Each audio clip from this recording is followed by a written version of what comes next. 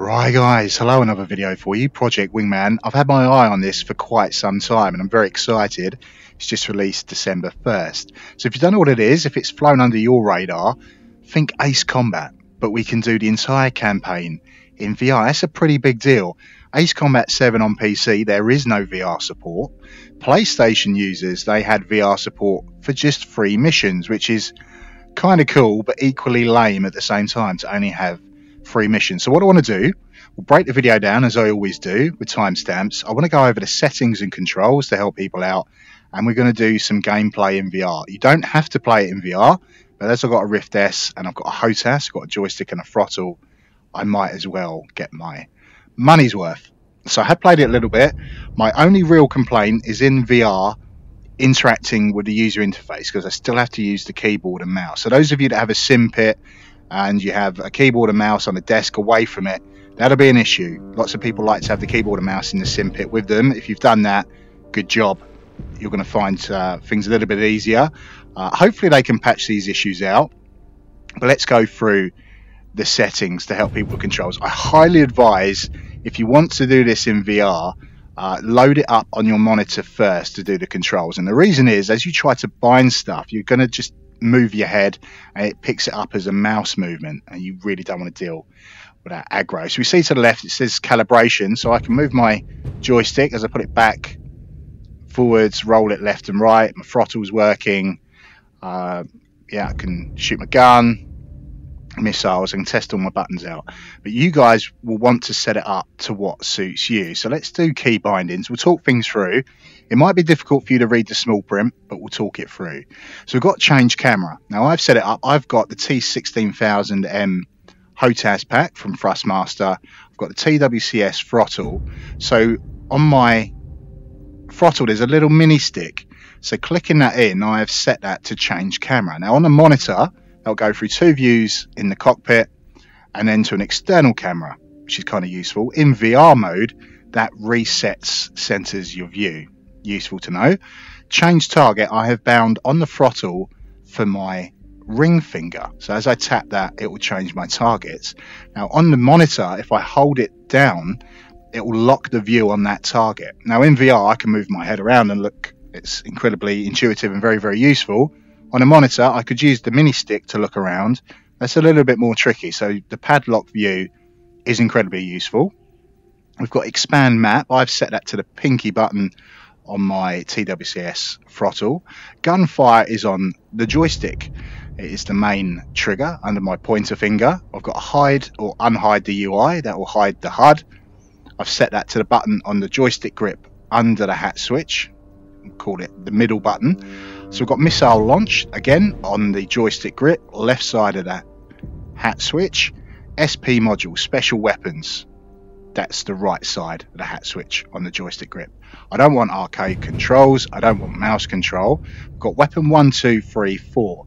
So on my throttle, I've got a hat switch. I go left, up, down, right. So weapon one is left. Weapon 2 is up, weapon 3 is right, weapon 4 is down. Now the reason I've done that is in the game it does have like a display and it shows that weapon 1 is to the left. So just to make things intuitive when you're looking at the screen, I'd suggest you do that. You don't have to, you can have weapon 1 as up if you want, but I've tried to make life easy on myself. I've got weapon cycle, which I don't really need as I can manually select, but I've set that as the orange button at the base of my throttle. I can hit that with my thumb. So we've got the axis bindings here. It's already set up for keyboard and mouse and gamepads, but I want to set it up with the joystick. So pitch axis, I've just clicked that and pulled back on the stick and I've inverted it. So when I pull back, the nose goes up. When I push forwards, the nose goes down because that's how planes fly. I've got the roll axis, so I've clicked that, move left on the joystick to set that axis. I don't need to invert it thrust axis. So I've clicked on that and set moving my throttle forwards and backwards. Now I did need to invert that. So forwards we go faster as we bring it towards us back. It slows us down. I've got view padlock X axis. So with my mini stick, I've moved that left. We can move it right to set the X X axis for looking around. I don't really need it in VR, but if I'm going to play it on the monitor, That's kind of useful. The y-axis, again on that little mini stick, which is up and down, and I did invert that. So as I move it up, I look up. Uh, we've got the yaw axis. Now I can do this a number of ways. I can either twist my stick, but I also have paddles at the front of the throttle, left and right, to do the rudder. I also have rudder pedals. So I have set rudder pedals. It says uh, the throttle axis 7. That's because my pedals are plugged into the throttle. But it's also set to twist on the joystick. We've got curves and dead zones.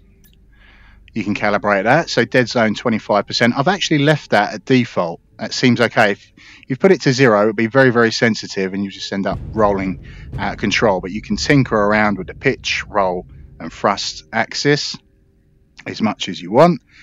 Yeah, I might put the dead zone down a little bit, but I seem to do okay. Uh, we've got calibration there, so we can just make sure we know what we're doing. So change target, map, change. That's resetting the camera view. So we're all good. Got the miscellaneous tab. So novice controls. I'm not a novice. I don't want mouse aim. Got hat function there. We're all we're all good. We can uh, head into the video settings really quickly. So I'll just tell you now that I have a 980 Ti. So that was a top end card, I don't know, five years ago. By today's standards, it's pretty middle of the road. And yet the game has maxed all the settings out. So a modern equivalent, I know, would be like a 1660 Ti or Super, whatever they called it. Uh, so the generation before, if you've got 1070, 1070 Ti, you're roughly on par with me. Um, if you've got a 980, that's roughly on par with a 1060. So that's weaker than what I've got, but you should probably still get some pretty good settings out of the game. And it does look pretty good in VR and on a monitor. So we'll just back out. We can get on and play a little bit of the game. So we've got the conquest mode there. There sadly is no multiplayer at the moment.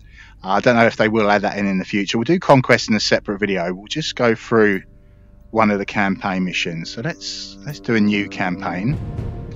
I'll play on normal. I hate playing games too easy, but as I'm doing live commentary as I play, I don't want to make it too difficult on myself. So let me just recenter that camera again. So I don't know if you can read that with the VR capture. Generations ago, a global cataclysmic event scorched the whole world. Newly exposed and volatile material combined with an earth shattering tectonic collapse, dismantling civilization's whole. The world order was destroyed, history as we know it changed forever, but from the ashes, a new era began. Hundreds of years have passed, humanity is now in a time known as after calamity.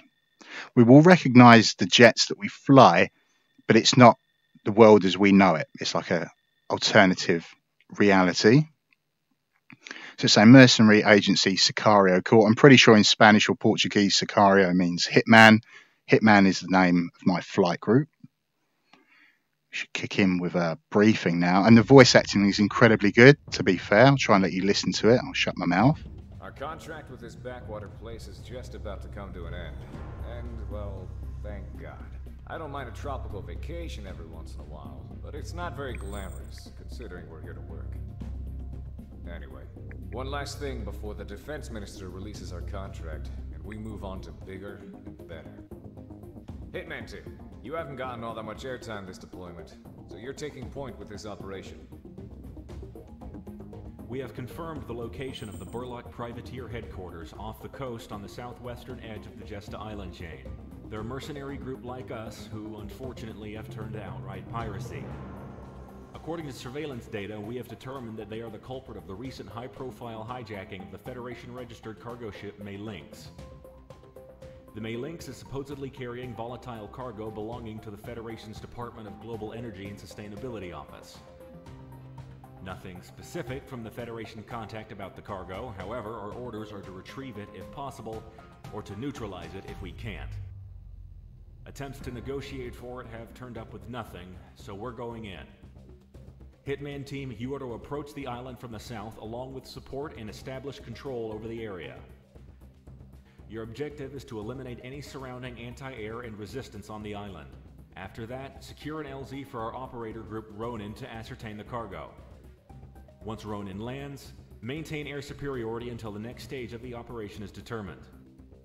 Be aware that the Burlocks have other Merc pilots on tap, so enemy reinforcements could be a factor. Normally, we'd stay out of contact with any Federation adjacent taskings. But this is the last thing we need to do for a Kurt contract, so I'll let it slide. Two birds with one stone. Easy enough, right? Now get to work. Dismissed. Right, so just in case you couldn't hear that, quite simple. We fly in, we blow up the patrol boats, we take out any aircraft. Our special forces, codename Ronin, will land. We maintain air superiority. Seems simple enough. So it's saying press start, escape to continue. Now here become here starts my issues with controlling it in VR. I'll click on the joystick, it's doing nothing. I click the mouse, it's doing nothing. I need to find the escape key on my keyboard, so I need to peek under the VR headset. There we go. Hopefully they can patch that out. It's just a very, very minor annoyance. So we've got start mission there, mission briefing, files. So I'll just, that yellow dot is where I'm looking in the VR headset. We'll start mission.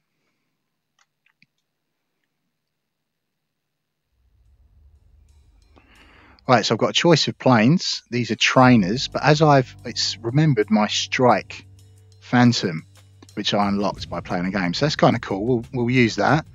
But there's a MiG-21 trainer, F4 Phantom trainer. I could have bought the MiG-21 Interceptor, but I went with the strike Phantom. So there we go. It's got quite a nice camouflage pattern on it. Now I need to select my weapons. So we've got multi-purpose, high impact missile, is that 48 of those? I'll take the uh, triple bombs, drop three of those, and I've got the multi-lock air to air. So there's different colour schemes. I'm sure I can buy different paint jobs. As we complete missions, we get money, but that'll do. We shall launch into the mission. I'm just going to throttle up. Don't my throttle too low or we'll stall in the air. So it's saying press start key, start key to commence mission. Now the trigger works. Go figure. Right, Operation Black Flag. The the graphics are actually pretty good. The clouds a little bit meh, but good enough. Uh, the sunset or sunrise looks brilliant. I can see scratches on the cockpit canopy. It looks like an F4 Phantom. Maybe it's a MiG-21. Overtook that Tomcat.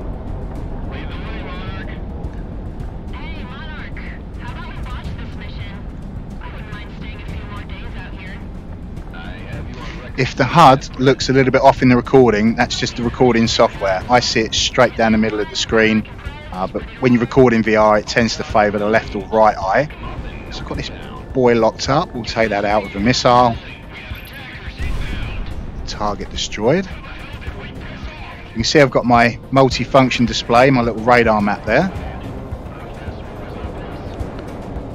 So it's given me some little tutorial prompts to cycle targets. See we've got some fast movers, hostile jets in the area of operations. Out of range at the moment That's it, we've got with fire. Target destroyed.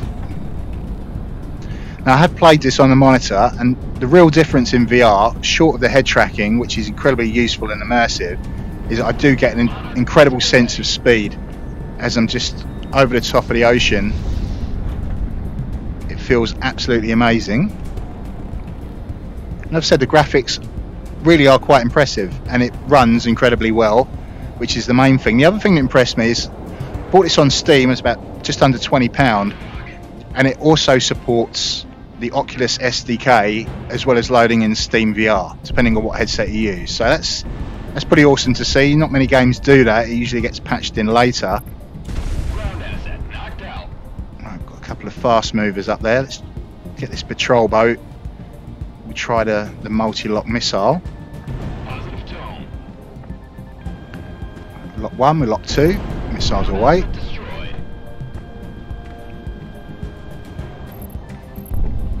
Kill.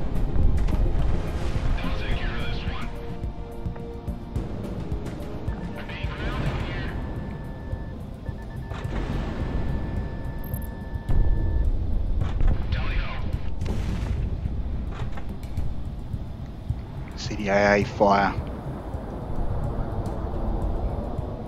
coming from the island.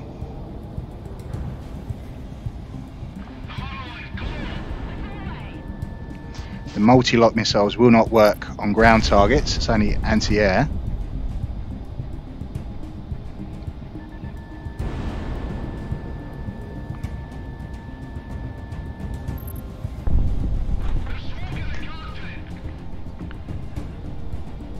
Let's head back round to the island.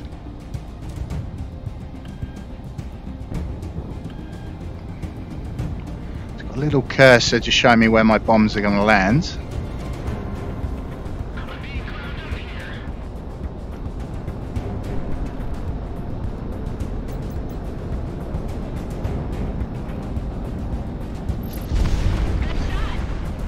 On target. Switch to my missiles, back to the patrol boat.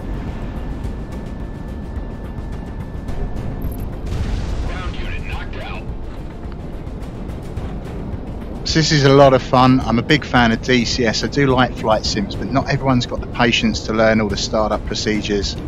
I should point out you can't use your VR controllers to steer or interact with the cockpit in any way. No, the joystick in the cockpit isn't moving with my throttle, which is a little bit of a shame, but overall the immersion is very, very good. Being sat in the cockpit,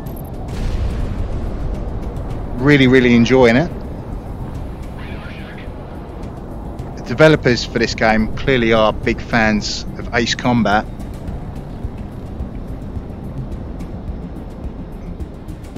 For the money, I think it's an absolute bargain.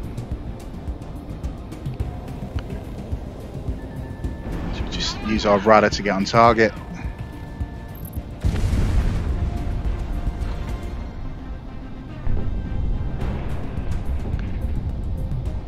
My wingmen don't seem to be doing too much.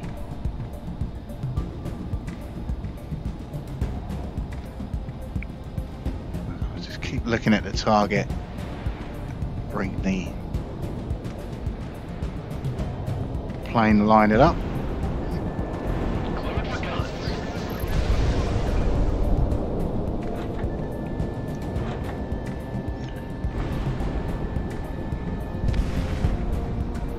Hit, but they're not dead.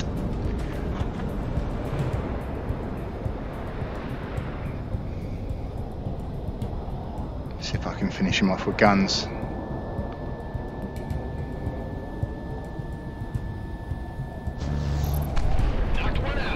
Good kill.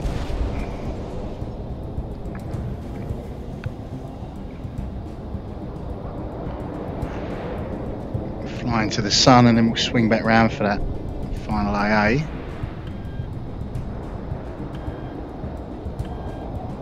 So there's my bombs.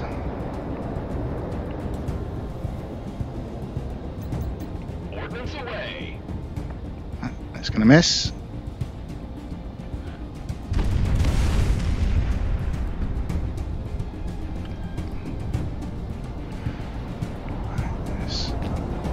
Loop over, see if we can't lock it up.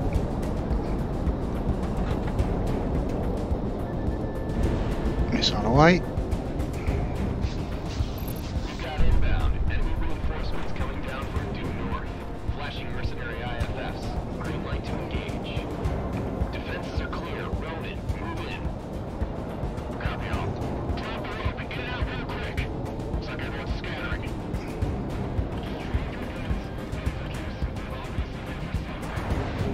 looks like we've got a couple of F4 Phantoms trying to scramble off the runway.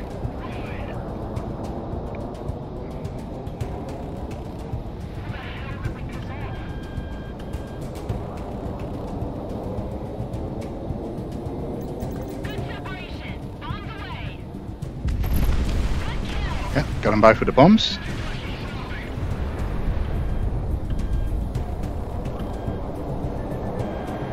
Multi-lock missiles away.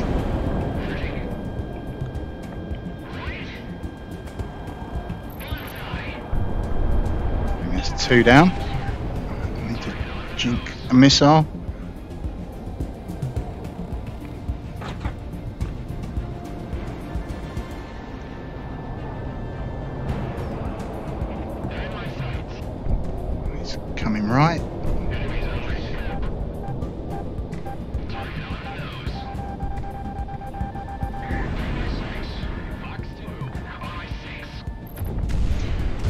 Destroyed.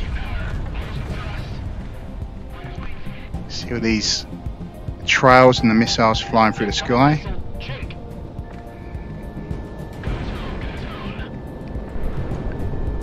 Miss with that missile. We'll stay on him.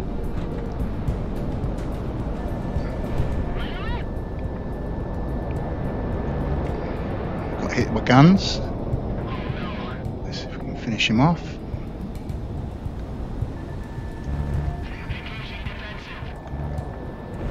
Missile it is.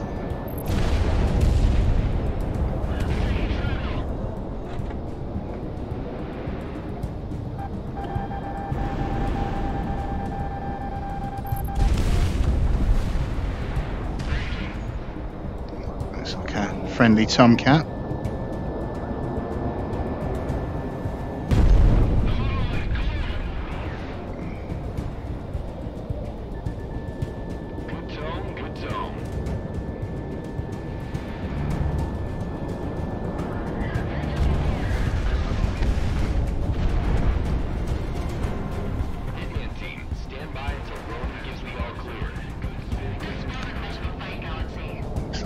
Maintained air superiority. We'll let our special forces do their work. Gunner's on target. Looks like some sort of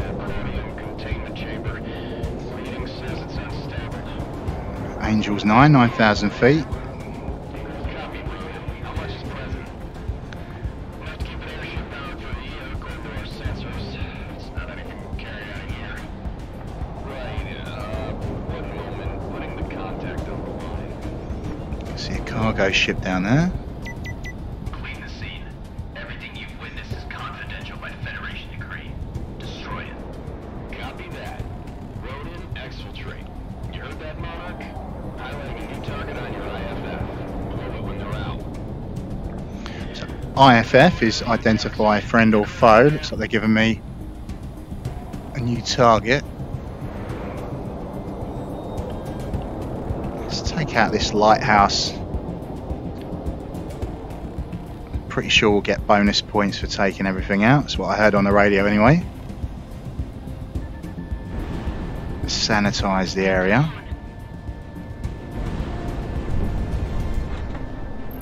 Lighthouse destroyed.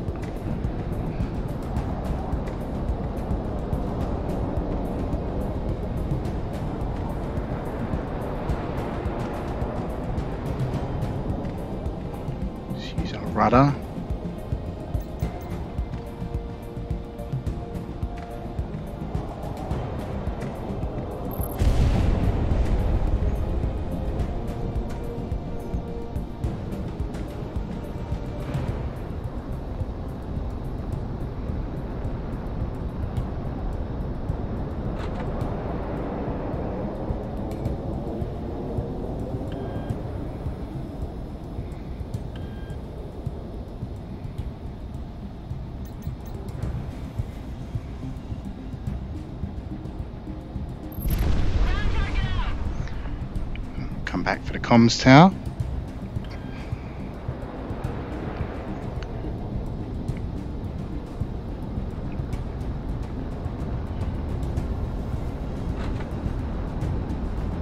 So I'm pulling high G's. There is no blackout or red out where you push the blood out or too much of it into your head. If you lose the blood, you black out. If you push too much in, you red out. Leaves the cargo ship.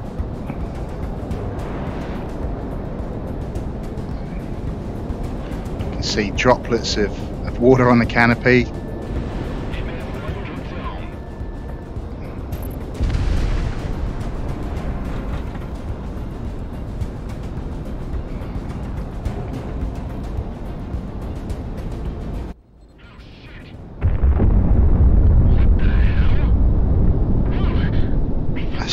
Secondary explosion. Uh, uh, objectives complete, Hitman. RTB at your leisure. Think the water's still alright? We still got sunshine by the time we RTB. Just drop out and become a surfer or something, you bum. Oh yeah, me, you, and Flight Lead here just running a little beach ball in a gentrified resort built from our blood money. Sound good, Monarch? Hold that thought. We've got inbound from due north. Same bearing as before. Fighter's approaching the flight tier direct south. Flash item and we will flag it as hostiles. Easy, easy. Flashing IFF. We're just the help. And by the looks of it, into the Burlock party. You hired by those Rex and That's friendlies coming in. Past tense now, yes. We got no beef with you. It's all business. I'm sure you guys understand. Put me on Galaxy. This is Assassin 1, call sign Kaiser. I'm the leader of the Sicario Mercenary Corps. We do understand your situation. Sorry about losing your revenue stream, gentlemen. But you know how this business goes. Don't sweat it. We're about to break off and go west anyway, towards Cascadia. Cascadia. Yeah, haven't you heard? Civil war against the Federation. Some rogue Cascadian ambassador's been island hopping, dropping off contracts and information all day. Yeah, rebels need bugs, I need a job. Master Goose 1, out. You see, that's a team name that sounds fun to have. Right, boss? Boss? Civil war in Cascadia. Interesting.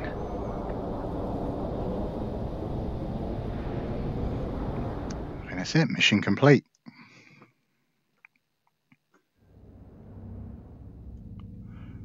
Got bonus payout, two Money grand. through from this contract, and our opportunities in this region have just about dried up. Yes, we did get extra points for the lighthouse and the com tower. They were worth bombing. effect. Pack your bags. I looked a little into the Cascadian situation, and I believe we'll make a little something of ourselves there. So as always, points mean prizes will let us buy better jets and so on. So I think we'll leave the video there, guys. It's not meant to be a review. Just give you a quick look, see if it's uh, your cup of tea. This game. Come back. We'll do another video for the conquest mode. So have a great day. Have a great evening. Whatever it is you choose to do after watching this. And as always, I shall see you when I see you next. Ciao for now.